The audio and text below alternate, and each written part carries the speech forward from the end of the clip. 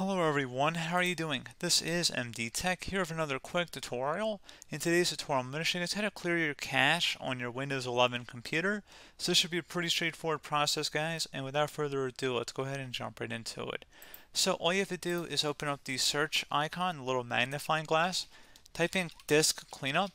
Best match should come back with disk cleanup. Go ahead and open that up you want to go ahead and make sure DirectX Shader Cache is checkmarked as well as temporary files and program files in here too. And then just go ahead and make sure that they're selected and then select cleanup system files.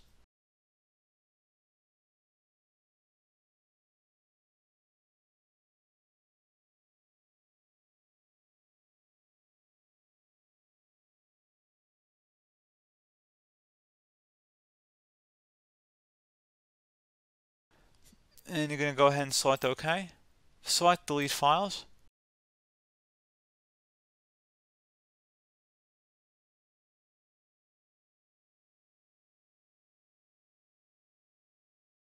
And there you go guys, should be as simple as that. And then you should go ahead as well and go back to the search icon, type in CMD. Best result should come back with command prompt. Go ahead and right click on that and select run as administrator. If you receive a user account control prompt, go ahead and select yes. And you want to go type in ipconfig space forward slash flush DNS. Flush DNS should all be one word attached to forward slash out front. Hit enter on your keyboard. Should come back with successfully flushed the DNS resolver cache. Now that you've done that, you should be able to close out of here, restart your computer, and that should be about it. So as always, thank you guys for watching this brief tutorial. Do hope I was able to help you out, and I do look forward to catching you all in the next tutorial. Goodbye.